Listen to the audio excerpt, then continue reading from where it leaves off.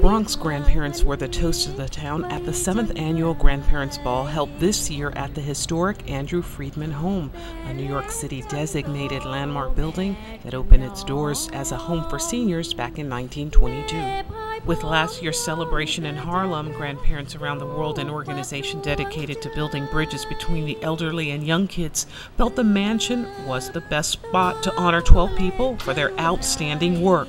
Deputy Borough President Aurelia Greene was there to salute them.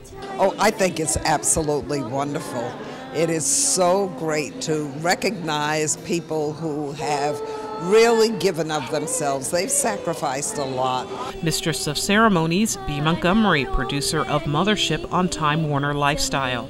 This is my third year hosting it for uh, for the grandparent organization, and it and it's just awesome to see so many uh, grandparents that are being honored and respected and recognized.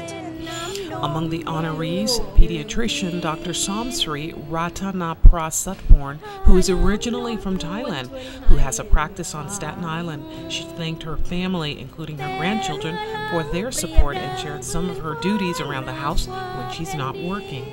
I want to share this honor with my late husband, who's a visionary man. 92 year old Roosevelt Milner flew in from Chicago to celebrate the day. And I done saw the good, the bad, and the ugly.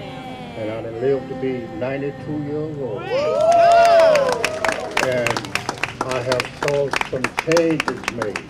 While some traveled from a few states away, others were closer to home, like grandmother Maritza Martinez. Usually, grandparents are the ones that attend family celebrations, um, weddings, graduations, birthdays. So I feel very uh, lucky to be here and be recognized. Su Chin thanked her husband of 56 years and her senior care provider.